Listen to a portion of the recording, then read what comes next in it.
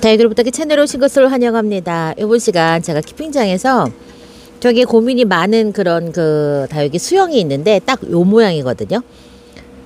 바깥의 입장은 이렇게 긴데 새로 나는 애들이 짤뚱하게 해서 모양새가 너무 안 예쁜 이런 다육들을 보면 고민이 되게 많고 내가 뭘 잘못했을까 혹은 음, 어떻게 하면은 좀 균일하게 예쁘게 키울 수 있을까 모양이 이렇게 다른데 얘네들을 다 잘라버릴까 고민이 되게 많거든요. 그래서 제가 오늘은 얘를 보면서 제가 이제 베리들을 키울 때 베리들 종류들이 이런 경우들이 많았어요. 그래서 제가 아 이거를 왜 이게 이런 이런 거지라고 거기서부터 생각을 해봤더니 처음에는 제가 뭔가 잘못 키우고 있고 이 다육이가 뭔가 문제가 있는 건가라고 생각을 해서 했었는데 지금 생각해 보니까 그게 아니고 요 다육이를 재배를 해왔던 재배 농장의 그런 관수 텀하고 거기에 맞춰져서 성장을 했던 이 잎들이 제 키핑장에 와서는 그 환경이 맞지를 않으니까 이렇게 빨리 성장을 못하는 거예요. 어쩌면 계절적인 영향이 있을 수도 있어요. 봄 가을에 성장을 쭉쭉 했었던 요 다육이가 지금 키핑장에 와서 가을과 겨울로 접어들면서 그래서 성장세가 둔화돼서 요런 모양을 갖고 있는 건가 그런 생각을 했거든요. 혹시 여러분들은 요렇게 생긴 다육이 때문에 고민한 적 없으세요? 저는 자 여기도 있네요. 어 추비바니가 다 그러네. 여기도 추비바니가 이 추비바니는 지금 프리티 다육의 추비바니고 얘는 지금 그 구름 다육의 추비바니인데 추비바니가 다 그러네.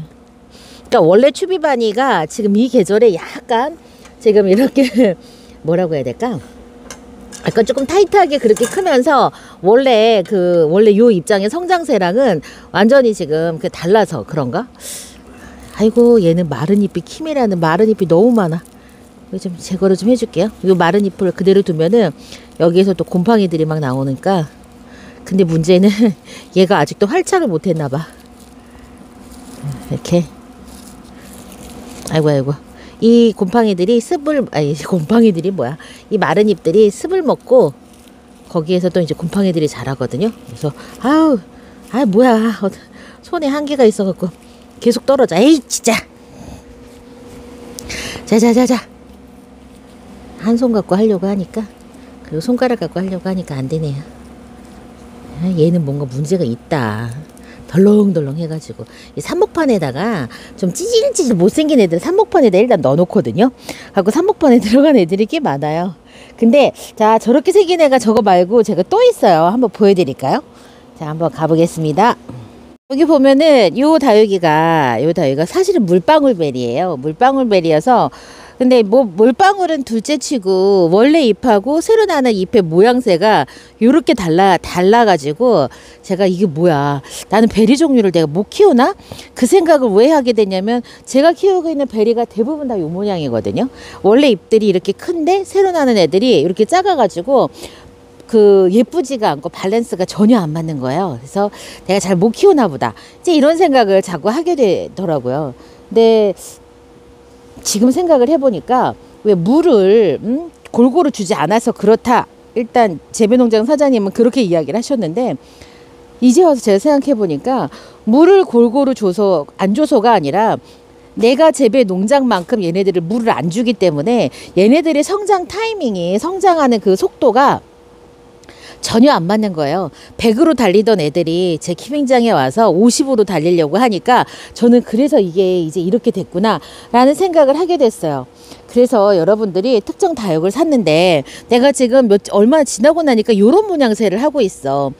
그거는 여러분들이 그 다육을 잘못 키워서라기보다는 그 다육이가 특정 이 농장에서 막 성장세에 있을 때 정말 성장 속도가 어, 재배 농장, 판매 농장하고 그 다음에 우리가 우리가 다른 속도로 얘네들을 키워내고 있기 때문에 그렇다라고 생각을 하시면 그러면 이제 될 것 같아요.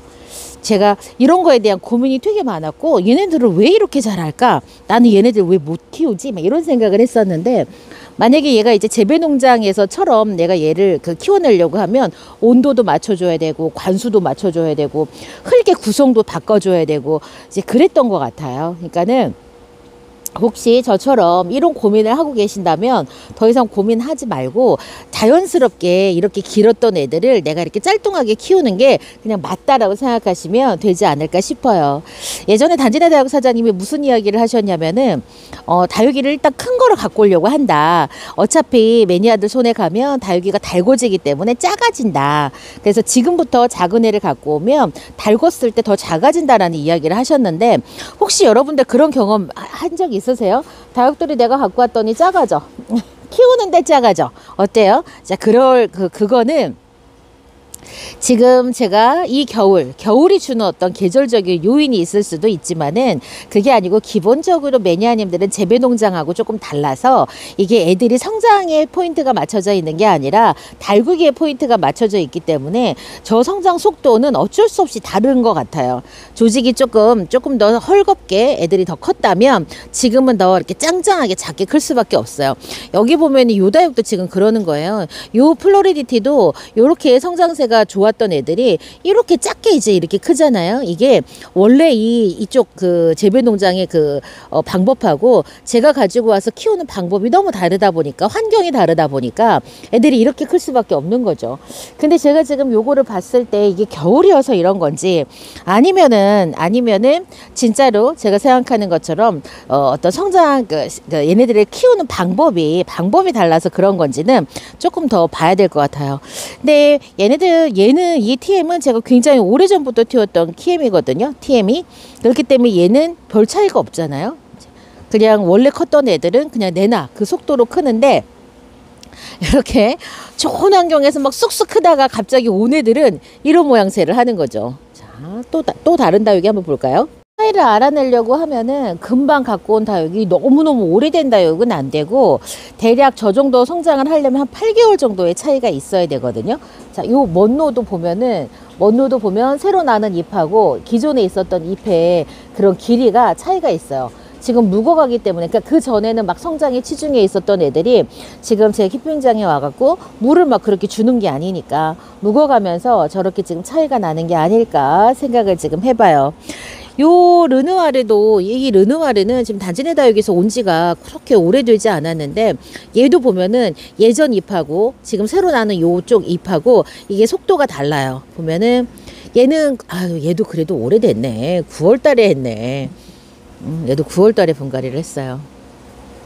근데 이제 이미 얘도 어, 단전의 다육 사장님 댁에서 그 훈련이 돼 있었던 그 다육일 거예요. 요 녀석도. 그리고 한번 또 이게 제가 나는 다육이를 왜 저렇게밖에 못 키우지? 라고 했었던 현상 중에 하나예요. 저런 증상들이. 그래서 제가 되게, 음, 뭐가 문제지? 물을 조금 더 잘 줘야 되나? 그쵸? 물을 줘야 성장세가 예전처럼 그렇게 따라잡을 수 있으니까. 근데 얘도 마찬가지예요. 요 다육도, 요 다육의 이름이, 아이고, 이름표가 없는데 요거는 꽃나래 다육에 와서 왔었던 다육이에요. 요 다육이, 아, 여기 있다, 이름. 바실리사. 요 바실리사는 자 여기 끝에는 성장하느라고 이렇게 컸다가 지금 제 키핑장에 와갖고 지금 여기가 지금 이렇게 단단하게 로제트가 지금 이렇게 지금 크고 있어요. 그래서 여러분들 혹시 다육이를 그래서 이렇게 구매를 하게 되시면은 예전 농장의 키우기법과 지금 내가 다육이를 키우고 있는 그런 어떤 그런 방법이 관수 방법이라든가 이런 것들이 다르기 때문에 다육들이 저렇게 일시적으로 밉게 클 수 있어요. 요 다육도 마찬가지네고 어떻게 요거는 이제 프리티 다육에서 온 벤바데스 이게 아마 계절금일 거예요. 그런데 보세요. 여기 바깥에 잎하고 새로 나는 잎하고 차이가 굉장히 많이 나요. 이게 지금 요 정도 되면은 대략 한 3개월 정도의 시간, 3개월에서 6개월, 그 성장세가 빠른 애들은 그렇지만 이제 느린 애들은 막 그게 8개월 정도 돼야지만 요 정도가 나오거든요. 그래서 요게 그런 차이가 있는 것 같아요. 그래서 예전에는 아, 지금 그거는 제가 오늘 저 다육이를 보면서 내가 항상 그 컴플렉스처럼 내가 못 키운다 다육이를 잘 못 키우고 있다라고 하는 어떤 그런 컴플렉스 중에 하나가 다육이들의 이런 현상들이었거든요. 원래 입장 그 크기랑 어, 지금 새로 나는 애들 차이가 너무 큰 거. 그랬더니 알고 봤더니 저 애가 이제 내 환경에 내가 키우고 있는 환경에 적응을 하면서 크는 성장 속도가 적어였던 거예요. 그래서 이제는 자, 여기도 여기도 지금 이 입장 안쪽하고 여기하고 너무 차이가 많이 나요. 어머 그렇네. 그런 애들이 많아요. 완전히 묵은 애들이 오면은 이제 그런 차이가 왜냐면 묵은 애들은 성장이 딱 끝나고 굳혀지는 과정으로 가니까 묵은 애들은 조금 덜 할 텐데 성장세에 있었던 애들은 그럴 가능성이 높죠. 어머 이 수아베 오렌스는 내가 유 어머 어머 이게 뭐지? 이 수아베 오렌스? 내가 여기다가 합식을 한 게 있었어? 어머 기억이 안 나. 큰일 났어. 큰일 났어. 웬일이야? 웬일이야 웬일이야? 어머. 자, 이렇게 와, 이, 이 녀석은 이게 러블리베어, 러블리베어 같아요. 러블리베어. 진짜 발랄하게, 발랄하게, 어, 이렇게 막 새끼 내고 하는 다육 중에 하나. 그래서 이번 시간에는 여러분들, 여러분들의 잘못이 아니라는 거를 알려드리고 싶었어요. 그게 제가 항상 제 자신한테 왜 이렇게 다육이를 못 키워? 이런 생각을 했었거든요.